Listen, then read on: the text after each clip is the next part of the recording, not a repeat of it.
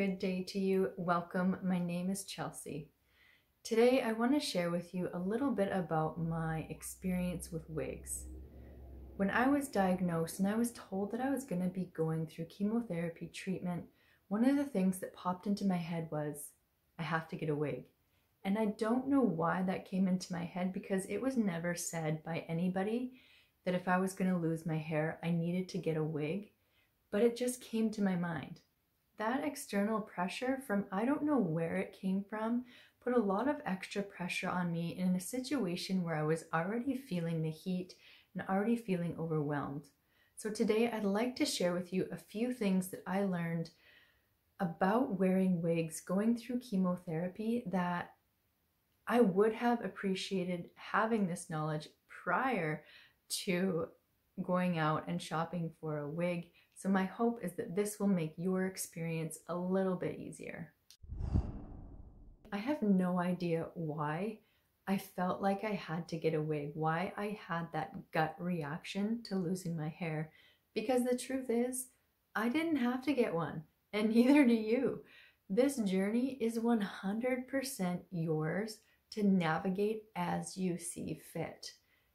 Nobody can experience this for you. Therefore, you get to decide what your journey looks like. If you want to get a wig, great, get a wig. If you want to get a wig and you want it to be completely outrageous and look nothing like your current hair, have fun with it. If you want to be a little bit more reserved and you want to get something that's really similar to the same style that you have right now, great, get that. Maybe you don't want to get a wig at all. That's completely fine too. There is no pressure to get a wig. So remove that from your shoulders and just decide what feels right for you. I am a licensed hairstylist and I should have known better, but when I went shopping for a wig, I got 100% caught up in the emotion of it and how it looked versus paying attention to the fit and the feel. So you may be thinking, the feel and the fit, what does that even mean? So let me give an example. So say you were going shopping for a new bra. And I don't know about you, but a couple of the first things that I look for are the color and the style. But then once I have those narrowed down, I need to go in and I need to look at the size and kind of the fit. So if you get this cute bra, it's the perfect style, it's the perfect color, but then you go to put it on and it's all loose on your body or it's cutting in somewhere, it's really tight, things are bulging out in different areas, or maybe you put it on and the seams are so darn itchy, you just can't wait to get it off. Forgetting about the feel and the fit is like getting that bra based on solely the color. And this is exactly what I did. When I got home and I put on my wigs and I started wearing them, I realized that they were way too big for my head. And once I started losing my hair, I realized that they were extremely itchy. So I'll show you my wig so I can explain a little bit more the mistakes that I made so that you don't. So this was one of the wigs I got. She's very pretty, I think. Um, okay, so if you look on the inside, you can see that this is a cap and coming through the cap are the wefts of hair because this one is machine made. Now, when I had hair on my head and I was trying this on, I didn't really feel this much because the hair was protecting it. But once my scalp was bald and sensitive, I really felt this. Um, so something to be aware of. The other thing that happened, well, I have a really petite head, and even though this one does have little hooks, you see, you can tighten it.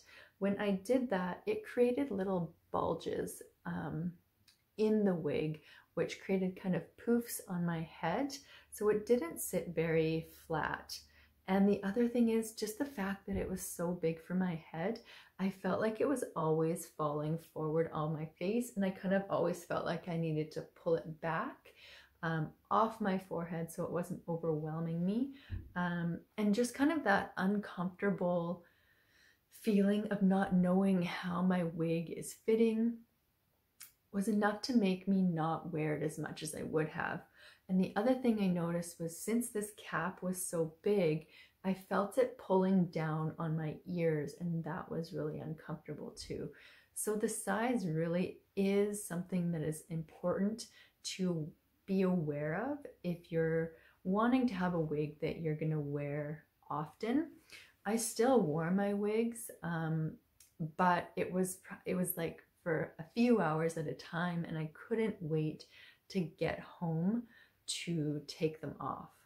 With that being said, you don't need to get a custom wig or anything like that. Just when you're shopping, just be aware of sizing as well as them being cute and the right style for you. And um, another option you could do is to get a wig cap, which is a nylon beanie that you can put on to protect your scalp. I just didn't. By the time I realized uh, my mistake, I was right in the middle of chemo and uh, just kind of okay with not wearing a wig. But if you are going to be prepared and get that organized, then that's a good tip too. I personally had a hard time finding a wig that I really connected with, that I really resonated with and was excited to wear. And I found that as time went on and I was getting closer to losing my hair, I was getting more and more stressed about finding the one. And I was noticing that I was getting more open to spending more money on a wig than I initially wanted to. So, wigs can have very big price tags depending on what you decide to get. Now, both of my wigs are um, machine made. They are half human hair, half um, acrylic or fake hair. Um, so they are definitely not a high range wig, and I am totally okay with that. But what I would recommend is before you go shopping, kind of similar to when and if you go wedding shopping, is to set a budget for yourself and what you would be comfortable in paying for a wig so that when you get there, you don't get caught up in the emotion of it and get something that's outside of what you're comfortable with. I never really found the one, that one wig that kind of made me feel like on top of the world every time I wore it. And of course, my perfect wig is long because I've always wanted long hair. But I did find a couple of options and I'll show you them. This one, the first one I found, I found at West Edmonton Mall in one of the wig stores there. It's a nice kind of dark brown with a burgundy hint to it. I like this one because it was a little bit closer to my um, the hair that I had before I lost it. It was always dark brown. So this was a good one, mid-range length. And then the other one I was showing you before I found, and the cool thing about this one is that I actually received this from the Cancer Society wig room. They had a whole room of donated wigs and scarves available to anyone who was getting their treatment at the center, and it was all for free. So going in and knowing that there was no price tag on anything in there and I could just have fun and enjoy the experience of trying on all these different styles. That was a really nice experience for me. Um, and I ended up finding this one. She is nice and long. She's got a massive fringe and I love the little purple pink highlights in here. It's something completely different and something I've never done with my hair and she's long so I like that. So make sure if you are on a budget or if you aren't even sure if you want a wig so you don't want to invest a lot of money into it, check the cancer societies in your area or check your treatment center to see if they know of anyone um, who donates wigs to use. When it was all said and done, I would say that I ended up wearing my wigs three to four times a month. And the main reasons why I didn't wear them were they weren't comfortable. My head was always hot from chemotherapy treatment. It was extremely easy just to throw on a toque over my bald head or lotion it up and go out like that. And the last one, I felt extremely empowered just to be me in my bald head most of the time, and I didn't feel like I needed to wear a wig. However, it was a nice piece to have in my back pocket for those days when I just felt like something different or I just kind of wanted to blend in and not have those are you sick eyes or conversations when going out in public. I learned that wigs are not the be all end all to hair loss and chemotherapy treatment. They are an accessory there to support you. They are there to have some fun with should you choose, but only you can decide if they're right for you and if they find a place within your journey. I hope this video helps take a little bit of pressure off of your shoulders when going shopping for wigs or not going. In a future video, I'm going to be putting on my two wigs and sharing with you some styling ideas. So if you'd like to be here for that, please like and subscribe to this channel.